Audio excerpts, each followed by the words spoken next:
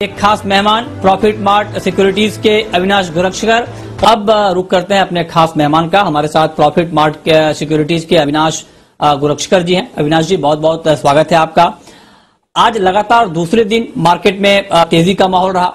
हालाँकि, आज की तेज़ी में कंजम्पशन और पेंट्स शेयर शामिल नहीं रहे। आज की तेज़ी में इनकी भूमिका नहीं रही। तो पेंट शेयरों पर आपका क्या व्यू है? आपकी क्या राय है?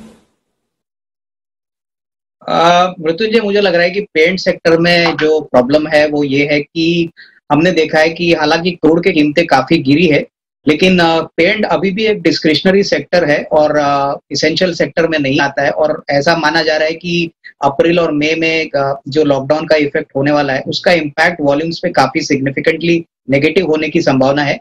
ऑलरेडी हमने देखा है कि एशियन पेंट्स ने एक सप्लायर से थोड़ा ज़्यादा टाइम मांगा है, क्योंकि वर्किंग कैपिटल पे साइकिल पे स्ट्रेस आ चुका है।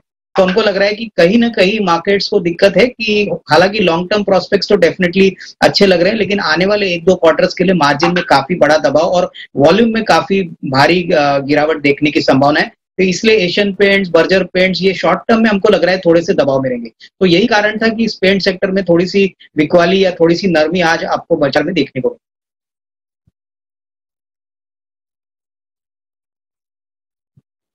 ओके ओके अविनाश जी, आपसे मेरा एक सवाल और होगा। ठीक है, आपने बताया कि पेंट शेयर में आगे क्या रुख रहेगा। लेकिन कल के बाज़ार में चूँकि कल हफ़्ते का आखिरी कारोबारी दिन है, छोटा हफ़्ता है तो कल अगर किसी को ट्रेड करना है तो इंटरडे पिक आपकी क्या होगी? और किसी का अगर थोड़ा सा लंबा नज़रिया है, दो चार पाँच दिन का तो पोजिशनल ट्रेड कहाँ पर करना चाहिए? तो इंटरडे और पोजिशनल मैं समझता हूँ कि मृत्युंजय पोजिशनल के लिए ही मैं आपको एक स्टॉक दूँगा क्योंकि इंट्राडे मैं ज़्यादा देता नहीं हूँ। लेकिन पोजिशनल के लिए मुझे लग रहा है डाबर एक अच्छा विकल्प है। आ, कल लीवर के नतीजे भी है और डाबर में हमको लग रहा है कि वॉल्यूम ग्रोथ और मार्जिन एक्सपांशन ये काफ़ी अच्छे आने की उम्मीद है। तो चार या पाँच दिन का अगर नज़रिया है तो हमको लग रहा है कि यहाँ पे फोर नाइनटी फाइव हंड्रेड का टारगेट प्राइस मिल सकता है। ये करीबन हफ़्ता दस दिन का टारगेट है। और हमको लग रहा है कि जिस प्रकार का इनका बिज़नेस मॉडल है, जिस प्रकार का वॉल्यूम ग्रोथ प्रीवियस क्वार्टर में इन्होंने मेंटेन किया था मैनेजमेंट काफ़ी कॉन्फिडेंट है कि इस बार भी छह, पाँच या छह परसेंट की वॉल्यूम ग्रोथ आएगी और मार्जिन में अच्छा इजाफा होगा। तो ये एक शॉर्ट टू मीडियम टर्म के लिए भी एक अच्छा पिक है, लेकिन पोजिशनल के लिए जिनको हफ़्ता दस दिन के लिए भी अगर पोजिशन लेनी है तो इस लेवल पर ज़रूर एक पोजिशन बनाई जा सकती है।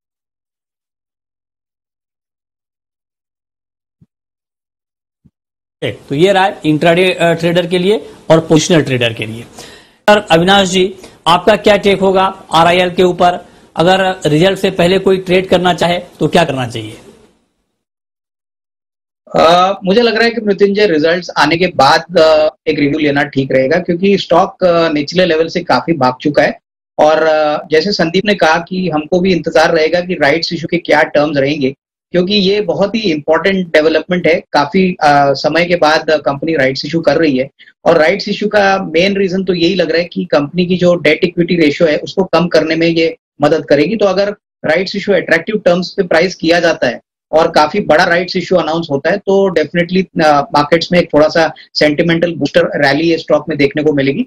रही बात हमको लग रहा है कि ओवरऑल बिज़नेस सेगमेंट्स पे देखें तो जियो के बिज़नेस पे क्या आरपू की ग्रोथ है, क्या कस्टमर एक्विजिशन की ग्रोथ है, ये सबसे यू नो बड़ा आंकड़ा होगा जो मार्केट स्क्रीनली वॉच करेगी। ओवरऑल रिफाइनिंग स्पेस में तो सभी को पता है कि क्रूड के कीमतें गिरने के बाद जो कटौती इनके जीआरएम में आएगी तो उसके बाद आउटलुक क्या रहेगा और आगे मैनेजमेंट क्या कमेंट्री कहेगी। उसके ऊपर सबकी नज़र रहेगी। तो मैं समझता हूँ, अभी तो होल्ड करें। रिज़ल्ट के बाद मेरे ख्याल से अगर ये सब पॉजिटिव निकलता है तो डेफिनेटली उसके बाद ही इसमें निवेश का और या यू नो ट्रेडिंग का एक पोजिशन बनाया जा सकता है। मुझे लग रहा है कि लीवर में डेफिनेटली जिस प्रकार का वॉल्यूम ग्रोथ की एक्सपेक्टेशन है, मैं समझता हूँ दो से तीन परसेंट की वॉल्यूम ग्रोथ लीवर इस क्वार्टर में ज़रूर रिकॉर्ड करेगा। हमको लग रहा है जो आने वाले क्वार्टर्स में जो मैनेजमेंट की कमेंट्री रहेगी और स्पेशली वॉल्यूम ग्रोथ पे क्या आउटलुक रहेगा, वो काफ़ी इंपॉर्टेंट है। हालाँकि जो टेलविंड रॉ मटेरियल प्राइसेस गिरने के कारण लीवर को मिलेगा, वो डेफिनेटली इनके मार्जिन के लिए बढ़ने के लिए मदद करेगी। तो मैं समझता हूँ कि ये शेयर में अच्छी यू नो तेज़ी रिज़ल्ट के बाद पॉसिबली देखने को मिलेगी। हम समझते हैं कि जिनको शेयर पहले भी खरीदना है वो भी खरीद सकते हैं, लेकिन लॉन्गर टर्म के लिए कोई भी गिरावट अगर आती है मृत्युंजय। तो ये एक अच्छा पोर्टफोलियो कैंडिडेट साबित हो सकता है।